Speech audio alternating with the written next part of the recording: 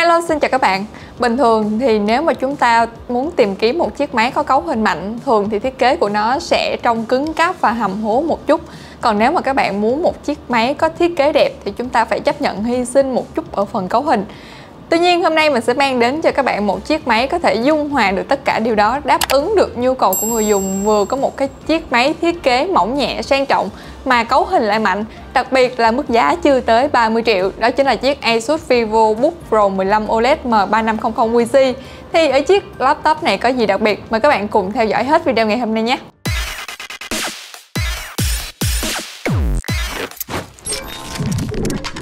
Thì chiếc máy này sở hữu một cái thiết kế vô cùng sang trọng.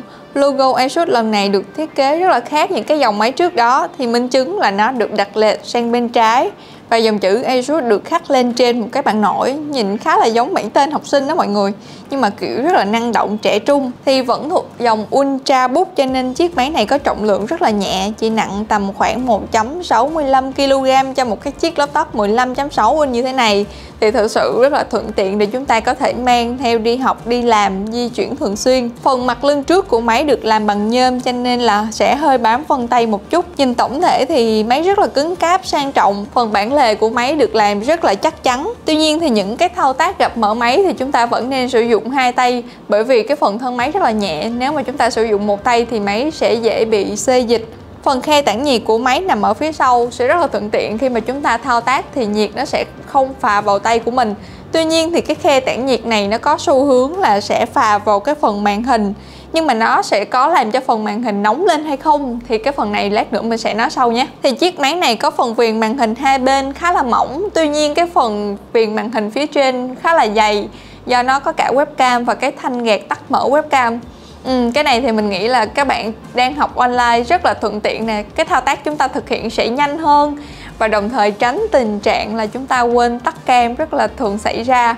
Bên cạnh đó, nếu mà các bạn chúng ta không có nhu cầu sử dụng webcam á, chúng ta hãy gạt tắt nó đi để cho thông tin của chúng ta được bảo mật hơn. Và tránh những cái trường hợp là chúng ta truy cập vào những cái trang web nó đánh cắp thông tin người dùng á mọi người. Thì ngay từ cái tên Asus VivoBook Pro 15 OLED là mọi người đã thấy điểm nhấn ở đâu rồi ha? Máy sở hữu một cái màn hình OLED cực kỳ chất lượng với một cái màn hình kích thước 15.6 inch, độ phân giải Full HD và tấm nền OLED mang đến cho mình những cái trải nghiệm thực sự không thể chê vào đâu được. Màn hình OLED này các bạn biết rồi đó, màu sắc hiển thị rất là sắc nét. Cùng với một cái màn hình rộng như thế này, thì những cái trải nghiệm giải trí như là chơi game, xem phim, lướt web thực sự rất là đỉnh luôn. Thêm vào đó là máy đạt chuẩn Benton là cái bảng màu chuyên sử dụng ở trong in Ấn. Đồng thời thì 100% DCI B3 cho cái độ chuẩn xác màu rất là cao. Cho nên những anh em mà chúng ta chuyên làm về đồ họa, làm thiết kế cân chỉnh màu thì chúng ta không cần sử dụng thêm một cái thiết bị hỗ trợ bên ngoài nữa. Nhưng mà nếu các bạn thật sự muốn và cần thêm một cái thiết bị hỗ trợ cân chỉnh màu thực tế thì ở trong chiếc máy này có cả phần mềm. React Vector Hub. Các bạn chỉ cần kết nối một thiết bị rồi chúng ta có thể hiệu chỉnh màu theo ý của mình nha. Chiếc máy này có độ sáng lên tới 600 nit thì mình sử dụng ngoài trời cũng không bị chói gì nhiều cả mọi người. Chỉ cần chúng ta điều chỉnh cái góc độ màn hình cho nó phù hợp thì chúng ta có thể sử dụng vô tư và không lo bị chói. Còn một điều nữa mà cái này mình nghĩ là những bạn mà bị cận hoặc là mới mổ cận thì sẽ rất là thích nè. Là màn hình của chiếc máy này có chứng chỉ TUV Ren giảm lượng ánh sáng xanh phát ra giúp sẽ bảo vệ mắt của mình hơn. Và kể cả khi mà mình sử dụng chiếc laptop này liên tục trong thời gian dài, thì mắt của mình vẫn cảm thấy rất là dễ chịu, không hề bị mỏi mắt một chút nào cả. Về phần bàn phím, máy sở hữu một cái bàn phím full size và layout bàn phím khá là rộng rãi, thoải mái và có độ nảy tốt, đánh cũng rất là êm tay nút nguồn có tích hợp cả mở khóa vân tay để giúp cho thao tác mở máy của mình được nhanh hơn. Và nó có cả bàn phím số nữa mọi người, nên là rất thuận tiện cho những bạn mà học tập công việc của chúng ta liên quan đến số liệu nhiều. Và máy có cả đèn bàn phím nữa, chúng ta có thể tự điều chỉnh theo ba mức độ sáng khác nhau. Có thể nói là phục vụ cho tất cả các anh em và cho các bạn chúng ta có thể làm việc vào ban đêm. Và điểm nhấn của thiết kế bàn phím này chính là cái phím Enter. Nó được viền sọc trắng ở phía dưới, nhìn như là cái đường đua mọi người một sự phá cách và có lẽ chiếc Asus VivoBook Pro 15 OLED này nó đang hướng tới những cái bạn trẻ năng động. Và đối với cá nhân mình thì khá là thích điều này. Phải nói là vừa mở máy lên, phải thốt ra, wow, một thiết kế rất là đẹp. Nói chung chỉ là một cái chi tiết nhỏ ở ngoài rìa thôi, nhưng mà cá nhân mình thì rất là thích. Phần túc bách của chiếc máy này rất là rộng rãi, thuận tiện để chúng ta có thể thao tác dễ dàng. Và những cái thao tác đa điểm nè, hay những cái thao tác sử dụng ba bốn ngón tay cũng rất là mượt mà. Đồng thời thì khi rơi tay trên tút bát lâu cũng sẽ không cái gặp tình trạng bị rít tay. Cảm giác ở các đầu ngón tay của mình rất là dễ chịu. Và bên đây thì có nói nè các bạn Tút bát mượt như lụa và thật sự chính xác là như vậy luôn đó mọi người. Máy được trang bị tương đối đầy đủ các cổng kết nối thông dụng như hai cổng USB 2.0, HDMI, USB 3.2, jack tai nghe 3.5, Thunderbolt 4 USB-C, hay đọc thẻ nhớ micro SD rất là thuận tiện cho các bạn chúng ta hay sử dụng thẻ nhớ nè. Và với những cái nhu cầu sử dụng căn bản thì chúng ta không cần thêm những cái cổng chuyển đổi cồng kềnh phức tạp nữa.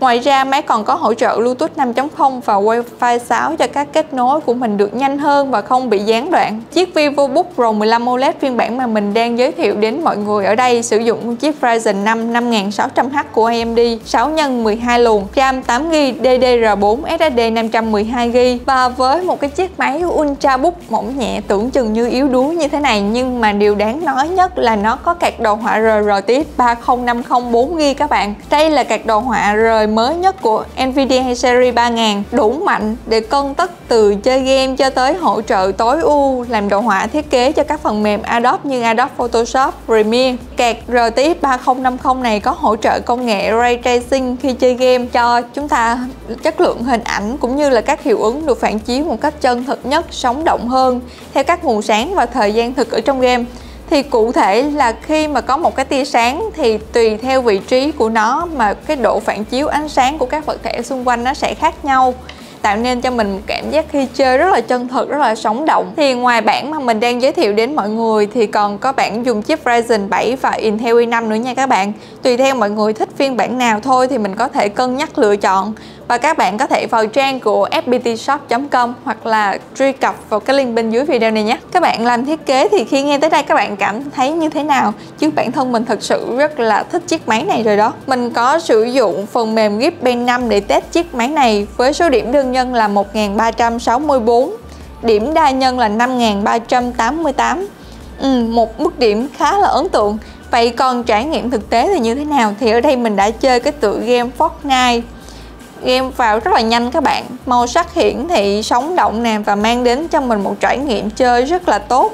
Máy cũng không bị quá nóng. Tuy nhiên, có một cái điểm trừ là khi chơi game thì cái quạt tản nhiệt hơi ồn nha các bạn. Nhưng mà có thể hiểu được điều này là do máy được trang bị tận hai cái quạt tản nhiệt. Như lúc nãy ở trên thì mình có nói là nhiệt của nó sẽ phà vào phần màn hình nhưng mà do máy không quá nóng cho nên là vẫn có thể chấp nhận được. Thì chiếc máy này có mức pin là 63Wh một mức pin không cao. Nhưng thực tế khi mà mình sử dụng, nếu mà mình chỉ dùng những cái tác vụ văn phòng thông thường và với độ sáng tầm 75% thì mình có thể xài liên tục được tầm 5 đến 6 tiếng.